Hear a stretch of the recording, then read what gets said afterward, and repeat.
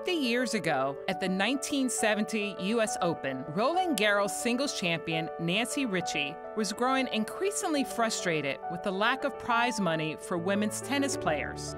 Along with Billie Jean King and Rosie Casals, she took matters into her own hands as one of the founding members of the Virginia Slim Circuit. I was talking with my dad, and he said, Well, why don't you and Billie and, and Rosie get Gladys and, and talk to her and see if she can do something for y'all.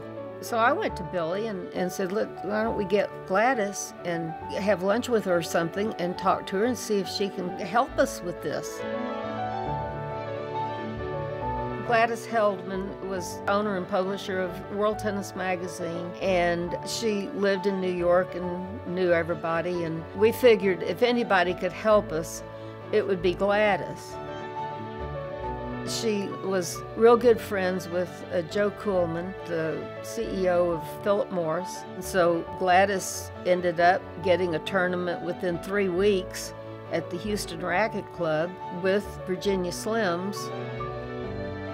I mean, it was untenable with what, what was happening, and the men, they were wanting all the money at all the tournaments, and it was leaving us out in left field. And something needed to be done